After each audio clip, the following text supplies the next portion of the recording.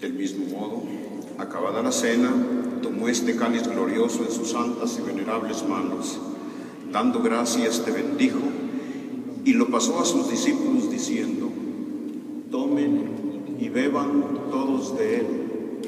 porque este es el cáliz de mi sangre,